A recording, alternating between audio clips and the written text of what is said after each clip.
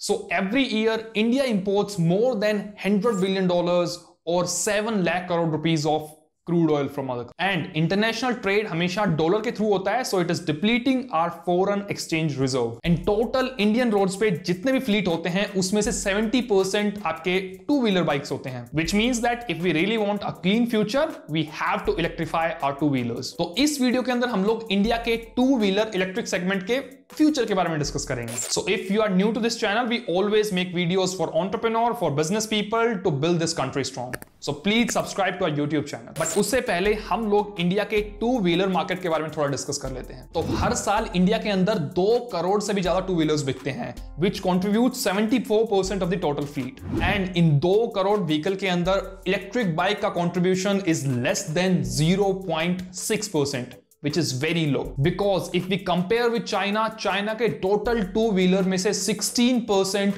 electric हैं. So if we really want to build a noise free and a pollution free India, we have to focus on electric vehicles. And ये आसान नहीं होने वाला because इसके पीछे बहुत सारी प्रॉब्लम है। चलो, इस वीडियो के अंदर हम लोग दो सबसे बड़ी मेजर प्रॉब्लम को समझेंगे and then will try to discuss a solution कि कैसे हम लोग उन दो प्रॉब्लम को सोल्व कर सकते हैं। Now the first reason is upfront cost normally एक पेट्रोल बाइक की average cost around seventy two eighty thousand के आसपास होती है। But the electric bike will cost you around one lakh thirty thousand but the only difference is कि आप जो petrol bike खरीदते हैं, उसके अंदर आपको पेट्रोल डलवाना पड़ता है continuously but with electric bike you just need to charge it and आपकी जो बैटरी है वो अराउंड चार साल के आसपास ऑन एन एवरेज चल जाती है which means on one side you are purchasing a petrol vehicle जिसके अंदर आप चार साल तक पेट्रोल डाल रहे हैं but on the other side you are purchasing a electric vehicle जिसको जस्ट आप चार्ज कर रहे हैं और वो चार साल तक इजिली आपका बैटरी चल जाएगा। अगर मैं एक सिंपल कैलकुलेशन करूँ तो मैं रोज 30 किलोमीटर ट्रैवल करता हूँ for 25 days in a month and maybe around 12 months in a year so मैं टोटल ट्रैवल करूँगा around 9000 kilometres in a year अगर मैं इसको चार से मल्टीप्लाई करूँगा तो मैं चार साल में लगभग 36,000 किलोमीटर ट्रैवल करूँगा एक पेट्रोल बाइक से.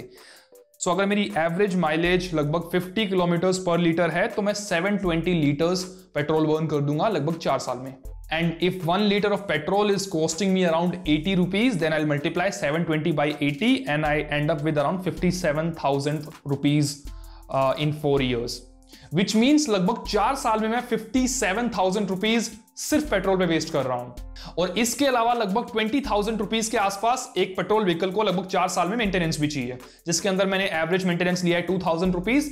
in six month so अगर हम लोग टोटल कॉस्ट को कैलकुलेट करेंगे which is eighty thousand which is the price of the vehicle और a bike plus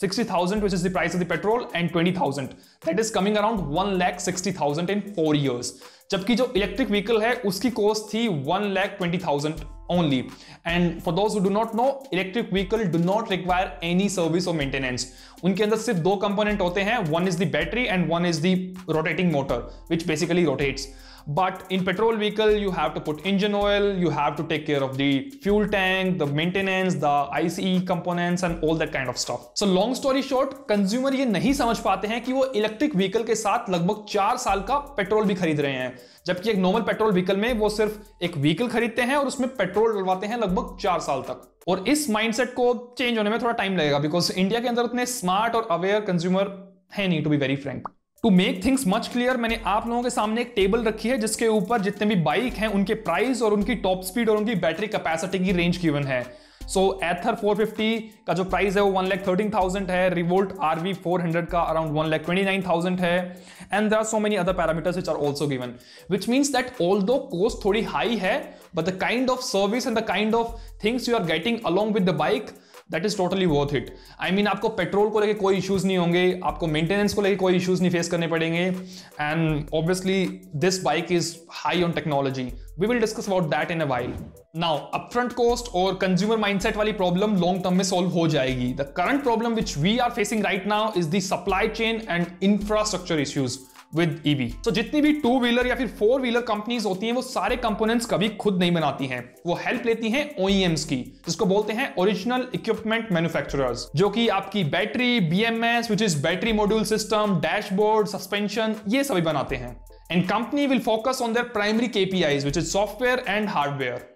and इस चीज़ को समझाने के लिए Tarun Mehta which is the CEO of Ather energy उन्होंने काफ़ी अच्छा स्टेटमेंट दिया था। New industry always pops up with a vertically integrated ecosystem simple language में दुनिया का जो फ़र्स्ट कंप्यूटर था, जो कि आईबीएम ने बनाया था, उन्होंने उस कंप्यूटर का सॉफ्टवेयर हार्डवेयर और प्रोसेसर सब कुछ खुद बनाया था which means they are the only one who is making the computer but later on 10-20 साल के बाद जब एप्पल माइक्रोसॉफ्ट इन सभी कंपनीज़ ने कंप्यूटर बनाने शुरू किए, और भी कंपनीज़ आनी शुरू हुई, उस टाइम पे आपके जो लैपटॉप या कंप्यूटर का स्क्रीन कोई और कंपनी बनाती थी प्रोसेसर कोई और कंपनी बनाती थी सॉफ्टवेयर माइक्रोसॉफ्ट बनाती थी और हार्डवेयर कोई और कंपनी बनाती थी which means at that time there are lots of OEMs available so जो वर्टिकली इंटीग्रेटेड जो इंडस्ट्री थी, जो कि आईबीएम ने बना रखी थी that will become a horizontally integrated जहाँ पर processor hardware software and screen is made by different companies. And because India के अंदर EV is the new industry, that's why there are very less OEMs in India right now. Which means that if any company in India really want to make two wheelers, they have to put a lot of uh, investment upfront in battery, in modules, uh, in suspension, in dashboard, and in software and hardware as well. And for those who understand the basic economics, अगर कोई भी company अपने asset पे बहुत ज्यादा पैसा लगाती है that is going to increase their fixed cost और वो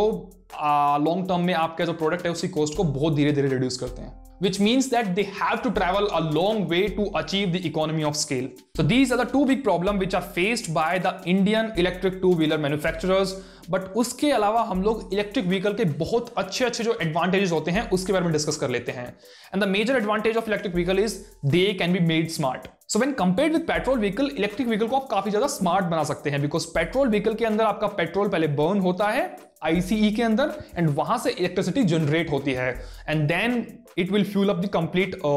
motorbike but electric vehicle के केस में आपकी ऑलरेडी एक बैटरी होती है, and it is very easy to integrate that hardware with software, and it can supply the power to the complete vehicle in a very easy way. Which means that अभी जितने भी electric vehicle आ रहे हैं, उनको आप काफ़ी ज़्यादा smart बना सकते हैं। सो इलेक्ट्रिक व्हीकल के अंदर आपका जो डैशबोर्ड होता है या फिर जो एलईडी पैनल होता है, वो आपकी नोटिफिकेशन शो करेगा आपके स्मार्टफ़ोन की। आपके स्मार्टफ़ोन में किसका कॉल आ रहा है, क्या मैसेज आया है, आपके जो डैशबोर्ड होता है, वहाँ पर आप अपने व्हीकल के लिए जियो फेंसिंग सेट कर सकते हैं। आप अपने इलेक्ट्रिक व्हीकल की साउंड तक चेंज कर सकते हैं with the help of a simple dashboard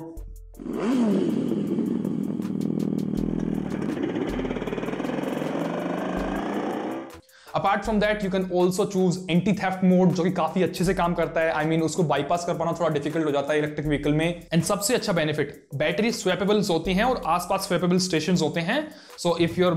vehicle is running out of juice then it will automatically navigate itself towards the nearby swappable station and अगर आप थर्ड फोर्थ फ्लोर पर भी रहते हैं so you can easily carry those batteries आप on your flat and you can charge then and मैंने recently देखा है, बहुत सारी कंपनीज़ काफ़ी अच्छा काम कर रही हैं इसके ऊपर. I mean Ultraviolette F seventy seven का काफ़ी अच्छा इलेक्ट्रिक बाइक है. एथर एनर्जी का काफ़ी अच्छा इलेक्ट्रिक स्कूटर है.